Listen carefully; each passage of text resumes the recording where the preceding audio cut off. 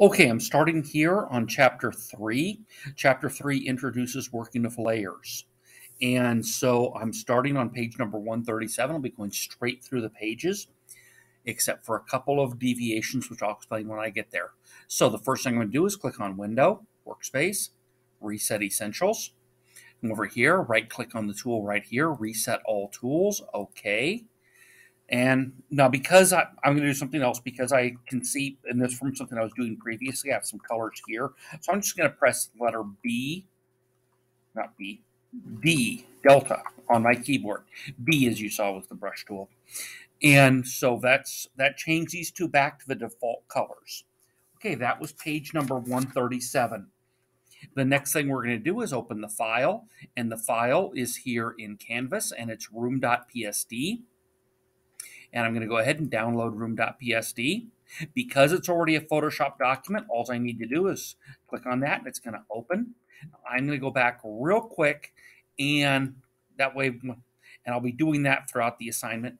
Okay, so in room P here, first thing we need to do is make sure the rulers are turned on. If the rulers are not turned on, you're going to press Control R as in Romeo on the keyboard. Okay, the next I'm going to press Control Zero to get that to full screen. Now, the next thing we want to do, and we're still on page number 139, is to save the photo. So, File, Save As. And where I want you to be putting this is in your Pictures folder. Okay, now I'm going to go just a little bit further and put that in Photoshop, and I'm going to be calling it uh, Video Demonstration. Let's see here. 8 December. You do not need to put the other stuff in there. That is simply for my notes. Okay, that was page number 139. I am turning the page. The next pages deal with what a layer, what the layers are doing for you the layer allows you to manipulate individual portions of the image separate from the other images, which is a incredible power. Otherwise, we just use paint or something. Okay, I'm turning the page again.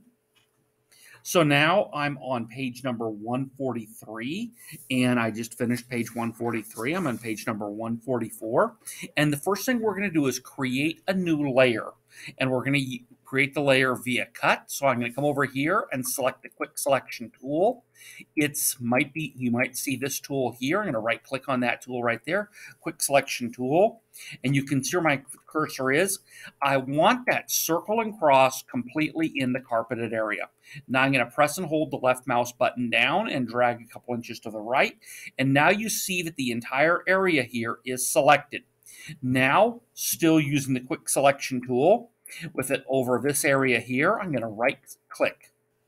I'm going to come up here, layer, layer via cut. Via simply means by way of. You may come to school via Northwestern Avenue. I've also heard it pronounced via. Both are probably right. Okay, so I'm going to go ahead and I'm going to rename this layer. You see I created a layer called layer 1. I'm going to double click on the word layer 1 and call it the carpet layer. Okay, do be naming these layers. I'm going to hit enter now. That's going to set it. The reason is we're going to have quite a few layers when we're done. And if you don't have layer names, it's going to make this very hard for you. So now that I've typed in carpet, I'm going to go ahead and now I'm going to right click. And I'm going to select a color for the tab here. And I am looking, and the color they want is yellow okay? And you see the tab here is yellow. The colored tabs allow us to keep the things organized by groups by using colors of common colors for various groups. In this activity, they want to make sure that you see all of the colors, and so we'll be using them as we work through. Page number 147 also mentions the visibility button. The little eyeball here is referred to as the visibility button. When I click on it, it hides that layer. So this checkerboard simply means transparent, that there's nothing here, literally nothing, that it is transparent. Okay, and so you can see that we've separated those two layers. We've separated the background layer from the carpet layer. Go ahead and leave those visibility buttons on except for when I tell you to turn them off. Okay, the very next thing we're going to do is bring in a second image. Now, I'll be bringing these images in using two different methods, and then I'll show you how I normally do it. And probably from that point on, I'll be doing it the way that I normally do it. So I'm going to come back to this here, and I'm going to open the sofa layer or image. I'm going to double click on sofa.psd. Okay, and I'm going to go ahead and open that in Photoshop. And again, I'm just going to hit the back arrow so that this goes through all of its loading when I'm there. So then we have this, now we have the sofa here in Photoshop. Notice that the sofa here is in a lighter color, okay? So this is the current or active image, okay? Now this is, I clicked on room video on this one here, and I'm going to click on sofa. All I'm doing is left clicking on them to make them active. Now, I'm going to go to window, arrange, and we're going to go to two up or vertical or tile all vertically. Good. Now I'm going to come over here and select the move tool. Most of the time I'll be pressing the letter V instead of clicking on the move tool. And I'm going to come over here to the sofa and I'm going to press and hold the left mouse button down and I'm going to drag the sofa into the room and release the mouse button. Okay, now the sofa is right here. I'm going to go ahead and rename that sofa. Enter. And I believe we were making that tab blue. Uh, so now, yes, we're on page number 152. I'm going to right click on sofa and I'm going to go ahead and make that blue when I say right click on, on the sofa layer. I can go ahead now and close this one because we're no longer using the sofa image. I'm going to click on the X there. Now, I do want to show you something that frequently goes wrong here, okay? A lot of the time, when a student creates this, brings the sofa in, they're on the background layer. What that would do is bring the sofa in right here. The problem is now the sofa is beneath the carpet. So if you did this and you're having this problem right here, look over here at your layers panel and you're going to see that you've got them in the wrong order. There is an instruction, a section on this where we'll do this, but I'm just going to tell you, you're going to hold the control key down with your left hand and you're going to press the square bracket key that is furthest from the letter P to do that. The other way you can move in the layers is, and I'm going to if you look there, you'll notice a little bar showed up between sofa and carpet. At that point, I can release. It's going to put them there. That's wrong. So I want to come over here, put them, select the mouse over sofa, press and hold the left mouse button down. I am holding it down and dragging it up and then releasing. And now the sofa is above the carpet where it's supposed to be for this exercise. Good. Okay, the next thing we're going to do is bring in the painting image painting. It is also a PSD file, a Photoshop file. Download painting.psd. And just go ahead and double click on that. Okay, now I'm to, right now I'm going to back arrow there, go back to Photoshop. So for this one, there are three elements in this image. Here is the painting, here is the frame, and here is the wall behind the frame. We only want the painting in frame. So I'm going to select the rectangular marquee tool and I'm going to come to the corner right about here. I'm going to be trying to precise, press and hold the left mouse button down and drag so that you've selected just the painting and the frame. Now, we come up here to window, come over here to arrange, and this time they want us to use horizontal instead of vertical. Okay, horizontal. Select the move tool. And come over here, press and hold the left mouse button down and drag it into the image. Now I'm going to go ahead and close this. I'm going to go ahead and name this painting. I've double clicked on it. And I do want to see what color tab they want on painting. Okay, they want a red tab, so I'm going to hit enter. Now I'm going to right click and I'm going to select red. Okay, so we've now brought in the painting, and I think you can see that something looks wrong here. What looks wrong is the wall has a vanishing point. Okay, the vanishing point would be like somewhere way over here. Okay, so the wall is descending towards the vanishing point. The painting, on the other hand, is simply square, and it looks out of place. Obviously, we're going to fix that. So let's make sure we're on the painting layer. Now, what I mean when I say on a layer is that the layer is the current or selected layer. And you can see that when the layer is selected, it turns to this sort of bluish gray as compared to the brownish gray. So this is my current or my selected layer. Okay, so now I'm traveling to page 159, and what I want to do is transform this image. To transform an, an object is to change is to alter its appearance by changing its size or shape. So I'm going to go ahead and press Control T as in Tango on my keyboard. Now you see sizing handles around it. Don't touch them yet. I'm going to now right click on the painting and I'm going to choose Skew. And you see that on page number 160. Now, what you're going to do is you're going to move the sizing handle, okay? You're going to press the left mouse button down and you're going to pull straight down like that. Do not pull out to the sides or do other weird stuff, okay? You're going to pull straight down. And when I say straight down, what I mean is if you drew an imaginary line through the center of your mouse, that moving along that line toward you is down. So I pulled the top edge straight down. Now I'm going to pull the bottom edge up a tiny bit. What I want here is I want the top of the of the painting to be parallel to the seam along this wall.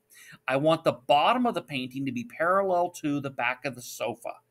And so we've got that done. Now we can either hit enter or we can click on the check mark right here to complete the transformation process. Okay, so that was the coffee table. The next thing, sorry, that was the painting. The next thing we're going to do is bring in the coffee table image, which starts on page number 161. So I'm coming back to here, and I'm going to open the coffee table image. I'm going to download it. Now notice this is not a JPEG, so we can't just double click on it to open it. I always have students that try double clicking on it and it doesn't work. So now I'm here. I'm going to come over here to File, Open, and now I'm going to go to my download folder, Downloads, and you can see that I just downloaded the coffee table. I'm going to click on that, and I'm going to click on Open. Great. Now I'm going to copy this whole, select it all by pressing Control A. That was all. Control C, that was copy. Go back to our current image, Control V, as in Victor, that was paste. You can see layer one here, C O F F E T A B L E, coffee table. And I'm just going to look and see, and they wanted that gray. So I'm going to hit enter. Now I'm going to right click on the word coffee table, and I'm going to select gray. Good. Again, I can get rid of coffee table here. It is actually useful to get rid of these when you're not using them because they are using memory, and that's going to slow down how, or and basically affect how fast and how well Photoshop works. At this point, we're going to hide all of the other layers. I'm doing that by clicking. When I say clicking, I'm left clicking on the visibility buttons, indicates layer visibility. I'm now going to zoom in to about, I believe, 125, 125. And you saw where I did that was this right down here. I typed in a number and then I hit enter. So we're going to be using several of the eraser tools in the next few steps, okay? So the first eraser tool I'm going to use is the, mag is the magic eraser tool. So tolerance here.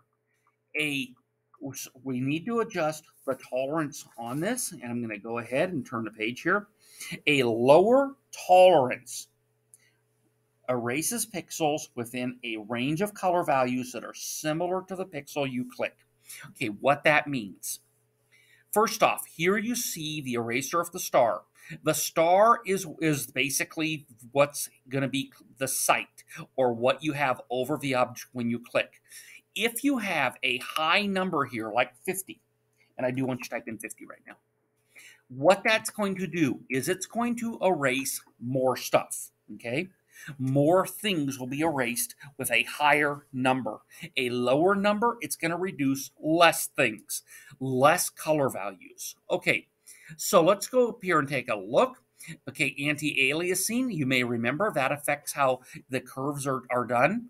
Contiguous, leave that on right now. opacity. Opaque is basically the opposite of transparent. If it is 100% opaque, it is not transparent. We leave, we're leaving this like it's a 100%. Otherwise, what it would do is leave a shadow of itself. You may have seen this effect when you see, as an example, a flag superimposed or sort of over a picture or, or of a person or a place. So we and that is something we can do here. There are other places we can do that. So opacity, I'm leaving it 100%. I'm coming down here to the wallpaper and I am clicking once. Okay, so I clicked once. A comment here. If you click and it suddenly completely messes up your picture, immediately press Control Z as in Zulu. Try again. If that doesn't work, then you will need to lower the tolerance value some. Now I'm going to click on the wallpaper in here. Okay, that got rid of the wallpaper inside of there. Great. Now I'm going to come down to about here. I'm going to click. Good. Right there. Good. If we keep going, what's going to happen is it's going to start taking, okay, chunks typically it wouldn't have worked. I'm just going to tell you this control z. Normally that wouldn't have worked. It would have taken a chunk out of my out of my thing here. Okay so just be aware.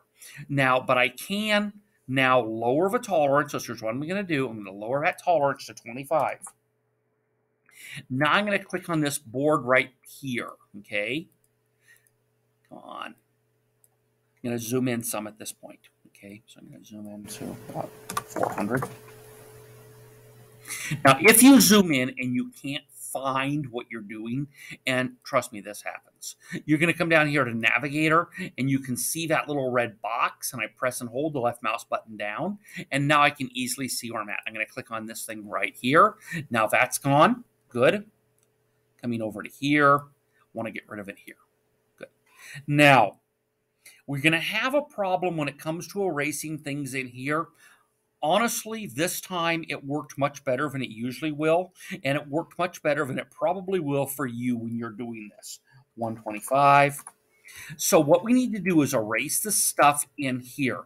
To do that, we're going to use the regular eraser tool, but we're going to use another tool at the same time. I'm going to zoom in a bit more to 150. Now, this is where I mentioned that I actually do use the polygonal lasso tool. What I'm going to do is I'm going to go to this inside corner right here, and I'm going to click. I'm drawing a line. I'm going to this corner, inside corner right here. What I'm doing right now is I'm creating a selection. I clicked. I clicked. I clicked and I completed it there. So I've created a selection. Now, if I use the regular eraser tool, okay, and you saw where I got to that. Remember, you can change the size of the eraser tool with the square bracket keys next to the letter P. The one closest makes it smaller, the one further makes it larger. Now I can just come over here and I can use the regular eraser tool, do that erase, and Control D, and it leaves this edge here nice and sharp. Whereas if I try to just do this by hand, it always comes out looking crummy. So I'm going to go over here and I'm going to do the exact same thing, polygonal lasso tool. I'm going to go to right here, click over here, click down here. Doesn't matter where here. I'm going to come back to there. Good. And now I have a selection. There we go.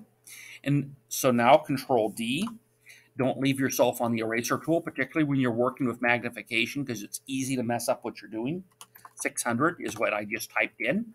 Okay, so I'm going to go to a couple of places here that give me trouble. Okay, right here, you see some stuff left behind. Again, to get those nice crisp lines, Okay, there it is. And now go back to the regular eraser tool. Got rid of those. Good. Let's go back to just the move tool or anything, control D. Don't leave it on the erase tool while we're doing this or you're going to mess yourself up. Now these here, sometimes the magic eraser tool works here. Sometimes it makes a mess. We're going to try the magic eraser tool, but okay, it basically, so I'm going to come over here, back over here again to the eraser tool, magic eraser tool. Now try to click on some of that blue. You see though, it didn't do all of it. So I'm clicking one at a time and then down here on this. And we basically got inside of that rail. We're going to try this rail. This one should work easily. We still need to get that little brown down there. This one should work pretty well. Okay, this one's going to make a mess. So Control Z. So I'm going to actually just go ahead and do the exact same thing I've, you've seen me doing before, the polygonal lasso tool. Just going to come over here to here, draw my line down to there there, back up to here, and across to here. Good. And the regular eraser tool. Now, I want to go back to the move tool just because, again, I don't want to accidentally click on my picture and totally mess things up.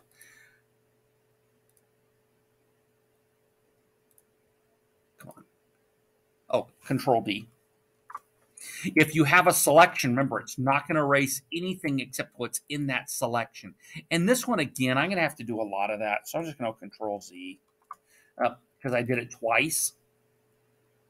Go back to there. Okay. And I am purposely trying to show a lot of different tools as I'm doing this too. Click, click, click, click,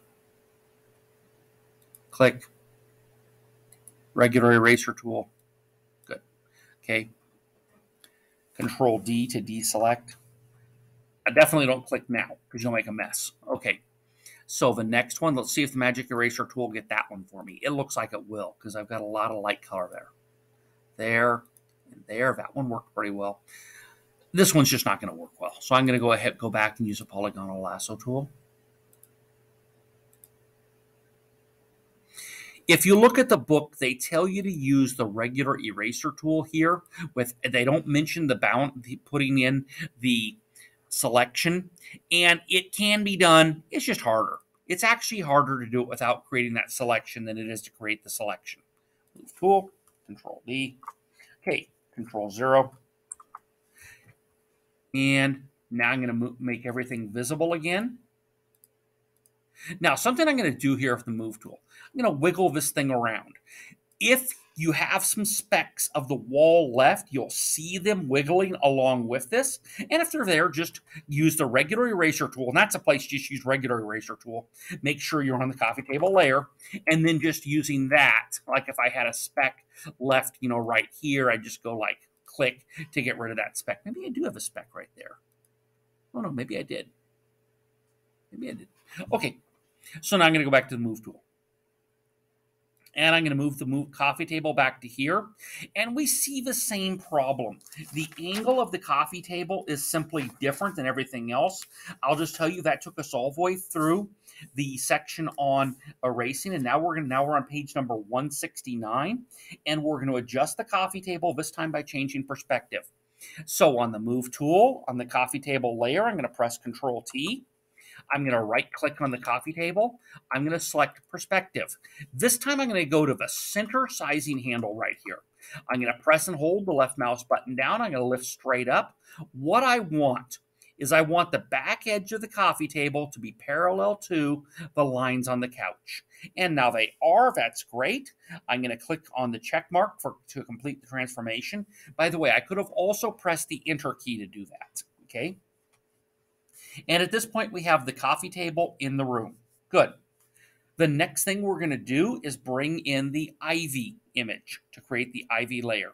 So I'm coming over here, here, ivy.tiff. Oops, oh, double clicked on it. Actually, I triple clicked. Download. It downloaded, great. Going back to Photoshop here, I'm going to go File, Open, and there's my ivy. Open. Okay, Control A, Control C. Come back to here, Control V. I'm going to go ahead and close this. I haven't saved in a little while, so I'm just going to hit Control S to save. Okay, that came up this time. Sometimes it does, sometimes it doesn't. Remember, you can click on Don't Show Again. Okay, Now I'm going to zoom in a bit again to be able to see what I'm doing there. This is the one I can zoom into 75 on. I basically want to see all of it, but I want it as big as it can be on my screen. So the eraser tool we're going to use this time is the background eraser tool.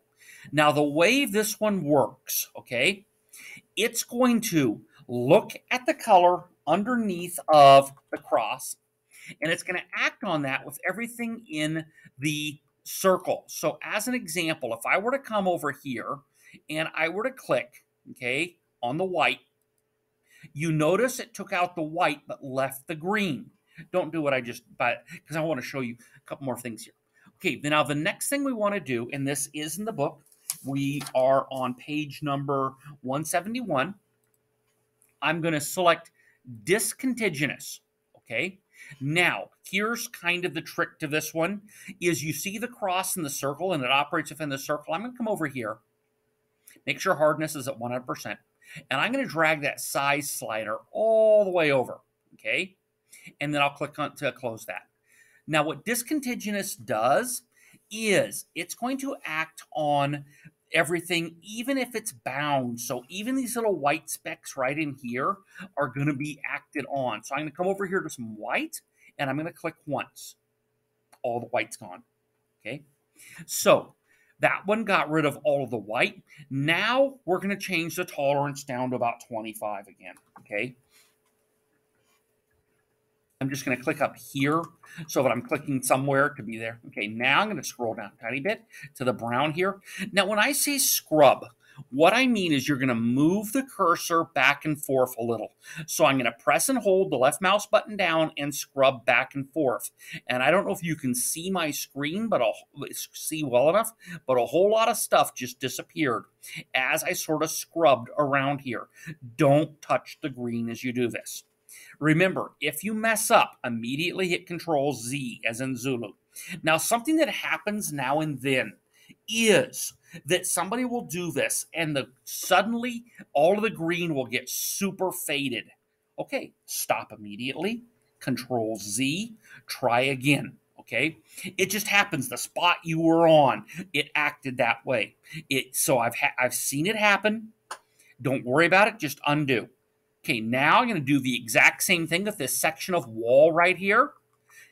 Now, you can, the, the reason I'm working over here is frankly, this one is harder to get to. Just a moment.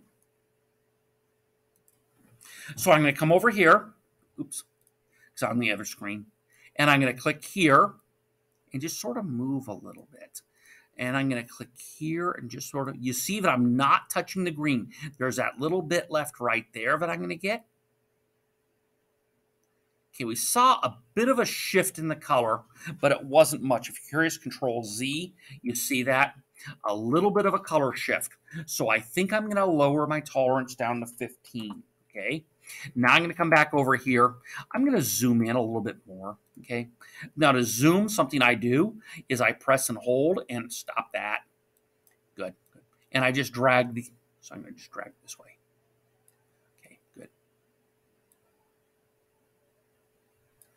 And I'll drag a little bit more. And you can see where I'm going after is a spot right here. So now I'm going back to that tool, to the same tool, the background eraser tool.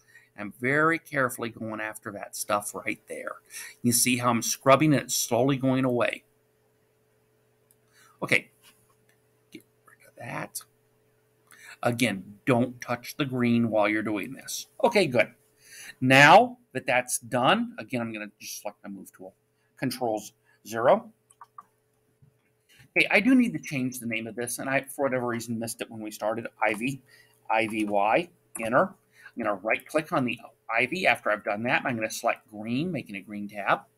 We still need to get these chains up here, okay? So just so you can see where we're at. So I'm going to go ahead and go again to uh, 75. Back to that tool. And I'm going to go after these chains up here. I think I'm going to set this back to about uh, the 25 we had it at. I'm going to go after these chains and I'm pressing and holding the left mouse button down and just sort of moving back and forth over these chains up here. And they are slowly being erased. And you saw that. Just sort of the scrubbing back and forth motion, and that got rid of them. Good. So we're basically done with that part, Control Zero. Now, if you look at page number 173, you see that they base that on page number 173 that they've resized this. So I'm going to go ahead and press Control T. And this time, I'm just going to go sort of free form. I'm going to the corner here. I'm pressing and holding the left mouse button down and just sort of making it sort of like that. And now I go to the center of it, press and hold the left mouse button down on it, drag it over. If you look at the picture, what you see is it's on the mantel, about one third mantel, and about one third is on the mantel, and the rest of it's hanging down, kind of like you'd see a plant in somebody's house. And that looks about right. This shelf over the fireplace is the mantel, okay? Because we'll be using that word several times. This looks good. So I'm going to go ahead and click on the check mark to complete the transformation. Okay, we have just finished the ivy layer. We will be going back to it to do some other stuff later on. At this point, we're going to add the pole lamp to the room. So I'm going back to this. I'm going to open the pole lamp image.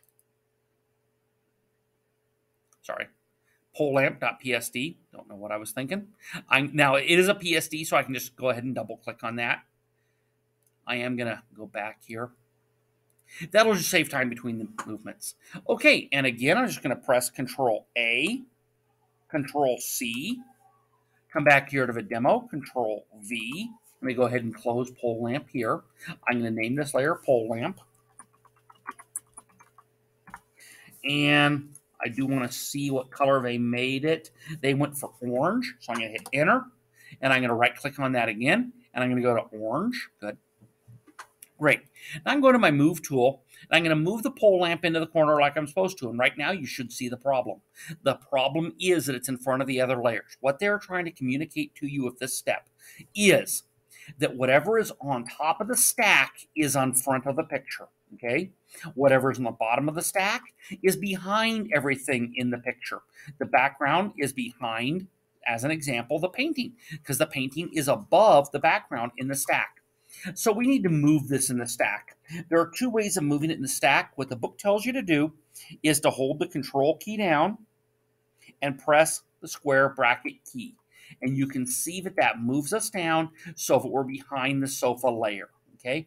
I will tell you the way I normally do this is I just put the mouse over it. I press and hold the left mouse button down, and you see a little bar moving through the stack. And so then I put it where I, there. Either way works, okay? Just that's what I'm trying to point out here. So I'm holding the control key, pressing the square bracket key close to the letter P. That works fine too. Both methods work. Now go ahead and click on the ivy layer again. Okay, now we're going to add the mantel decorations to the room. The reason we clicked on the ivy layer again, the reality is it wouldn't have mattered that much, but if, if we had stayed on the pole lamp layer when we created the next layer, it would have put it between the pole lamp and the sofa. Okay, we want it, we, so we want it on top. We want the ivy layer. Okay, let's go back to here and find our mantel decorations.psd. Download. Double click. Again, I'm just going to come back here. I'm going to hit back right now. It just saves a little bit of time when we're doing this. Control A, Control C, go to our image, Control V. And I'm going to go ahead and close that this one here right now. And I'm going to rename this one Mantel Decorations. If you can't spell Mantel Decorations, I got it wrong the first time. Uh, look on page number 175, M-A-N-T-E-L.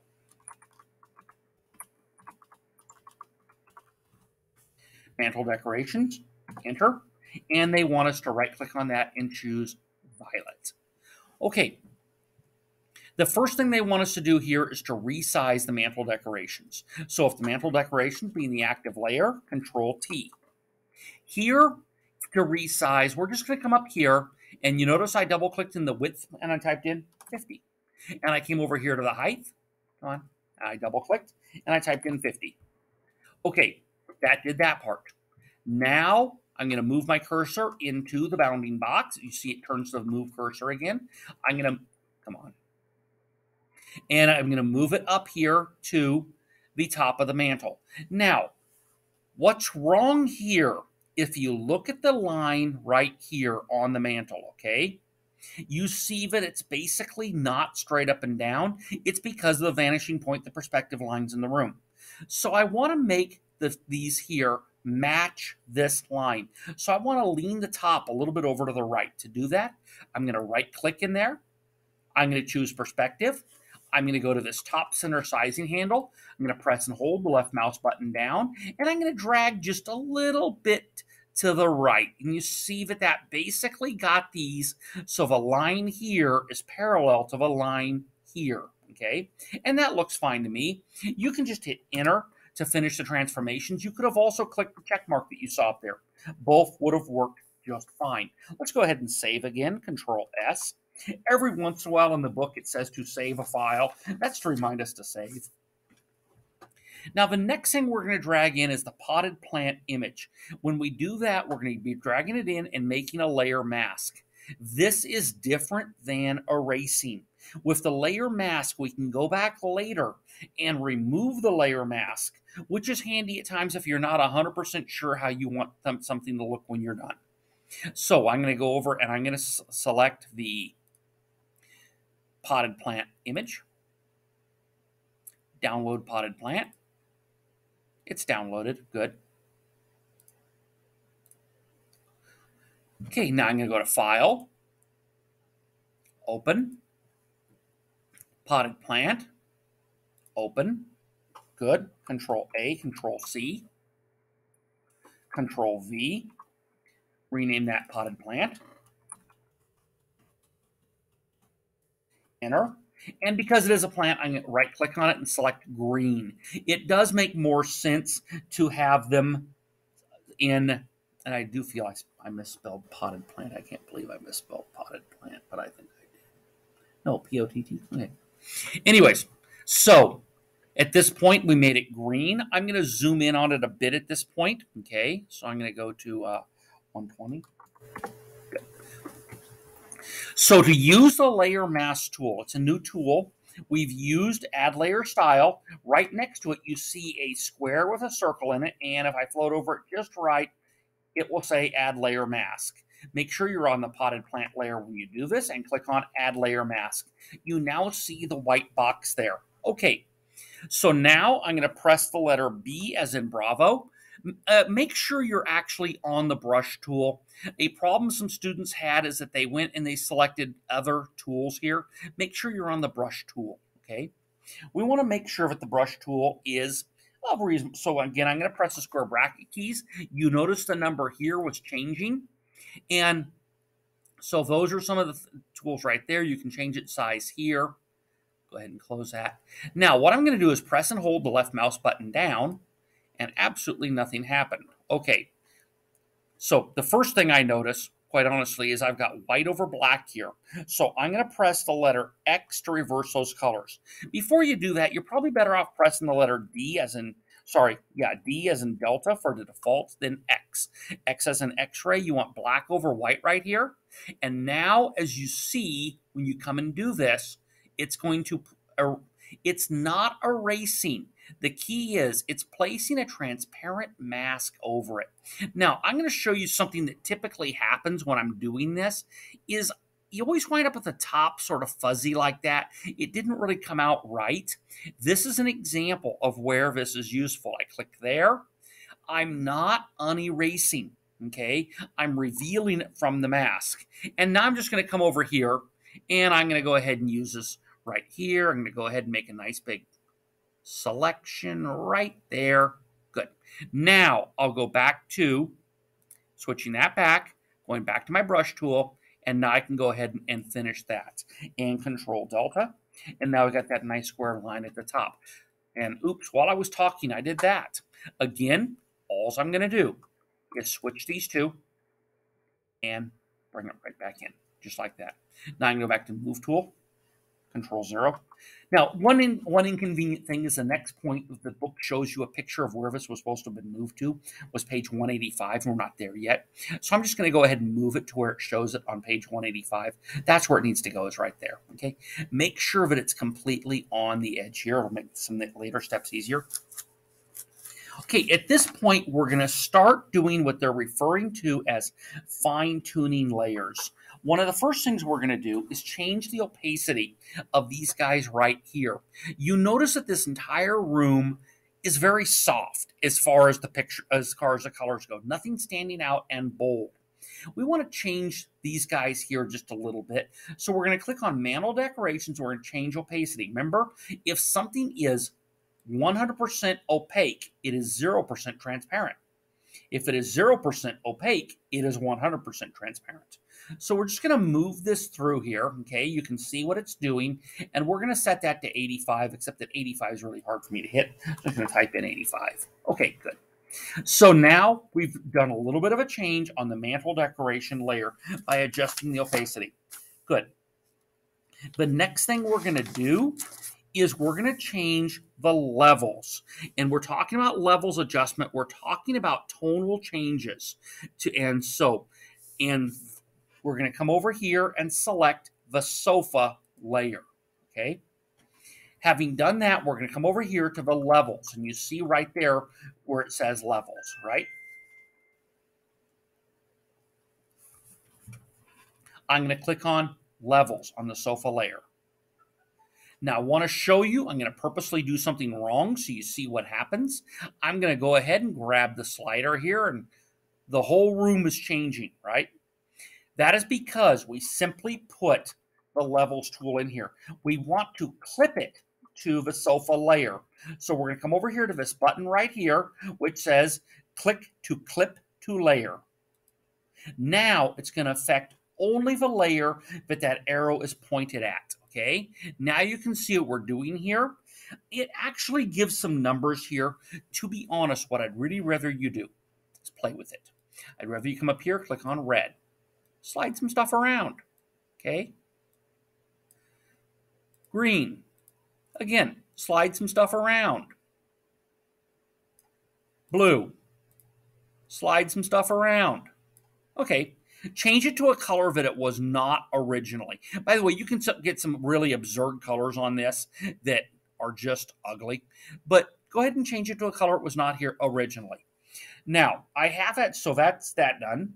I have had some students ask me how they can do the sofa pillows separate. So I'm going to go ahead and close this panel for right now. The easy way to do that, you don't have to do this. I just want to show it to you. So I'm going to click on the quick selection tool and come over here and I'm going to select the pillows. So I got that pillow selected. Make sure you're on add to selection. And I'm going to come over here and select the other pillow. I'm just going to get all of it real quick. Great. Now, oh no, I slipped and I did that, right? That's fine. I'm just going to use subtract from selection and get rid of that other stuff there that wasn't what I wanted. I think you know that I didn't actually do it on accident. Okay, good. So now that I've got that done, I would simply right click on them and I would layer via copy. And now I have another layer here somewhere. Okay, Control Z. Do that entirely. You know what I did wrong? I wasn't on the sofa layer. Now let's go ahead and right click on them and layer via copy. Okay, so now we got this layer one here. Name I'm gonna name it pillow. Okay, and I'm gonna go ahead and it's and the sofa was blue, so pillow's gonna be blue also. And I'm gonna grab pillow and pull it up and above this here. Now, the reason everything went weird on us is because the la the layer mask got lost. So I'm going to click right here I'm going to open this and turn and turn clip to layer back on. Okay, close that. Now you can see that these are a different object than the sofa itself. And if you wanted to, you could again go into the layer levels. Remember to clip to layer so that it's only acting on the pillows. And you could go ahead and do weird stuff with the pillows too. Okay. So just letting you know how that can be done. You didn't have to do that. It's simply a question I get asked pretty frequently on this. Okay, the next thing we're going to do is work with hue and saturation. The hue is the shade of the color, and the saturation is the intensity of the color. Click on the coffee table layer. This time you're going to go to the hue and saturation button. You can see right there, it says hue and saturation. I'm going to click on that. Again, clip to layer. Now, again, what I really want you to do is play with these a little bit. So I'm going to go to something really ugly, purple, and I'll mess up the saturation a bit. Eh, that's actually pretty good where it is. Okay. And lightness. Make a little bit darker. There we go. Okay. So just go ahead and really, I'd rather you mess with these than that you not see what they do or not understand what you're doing and just type in numbers because the book told you to type in a number. Okay. Good. Okay. Next thing we're doing brightness and tonal contrast. This I just said I wasn't didn't want you to type in numbers because you. So I'm going to come down here to click on the background layer. Okay. Now here I'm going to come down here to this tool right here. Okay. Looks kind of like a circle. Click on that. Brightness and contrast. Again, I'm going to clip to layer. If I don't clip to layer, can see what it's going to do. It still really is only acting on that one layer. I'm going to click clip the layer anyways. Here, we're going to go ahead and turn brightness to 10. I want you to see what it's doing though, okay? Brightening it up, so 10. Now I want you to play with contrast for a minute. So contrast is basically the shadows, okay? The strength of it. And we're going to put in negative 10. Great. Okay. And hide that one layer styles. Now, what this one does is alter this layer by adding depth and shadow. So what we're going to do on this one is we're going to go to our ivy layer.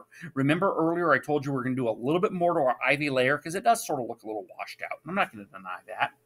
Okay, so now we're going to go ahead and select the ivy layer, select add layer style button, and we're going to come up here to bevel and emboss. Okay, give it a second to actually come to life. Here we will do what it says, but again, I would like you to sort of move it so you can see what's going on here. Depth. See what it's doing there? Okay, so we want to change that to 50. Okay, size. Again, play with it a little. Okay, sort of sort of a cool effect. And we want to put 10 in there. I do want you to wiggle, to move these sliders as you're doing this though, and soften. It's kind of hard to see what it's doing at this magnification. I'm going to tell you that they want it set to five pixels. Okay, good. And now, having done all, come on. Uh, where I'm trying to grab, just to tell you, I'm trying to left click on this bar right here. If you're wondering where I'm clicking to move it, and I'm going to click on OK. And that added a little bit of effect to the ivy layer here, okay? If you're not sure what it added, I'm going to go ahead and make sure I'm on the zoom tool or on the move tool. Then I'm going to go to zoom and I will zoom in on the ivy layer here. Okay. And we can see what it's doing by clicking on that on the visibility button and you can see that it's adding a bit of shadow to it. Okay, so that's basically what that was doing. Control zero. Apply a layer style. Okay, the last one here of a clone stamp tool I will be doing as a separate video, simply because that one people need to be able to refer back to while they're doing it here in class. So I'm going to stop the video.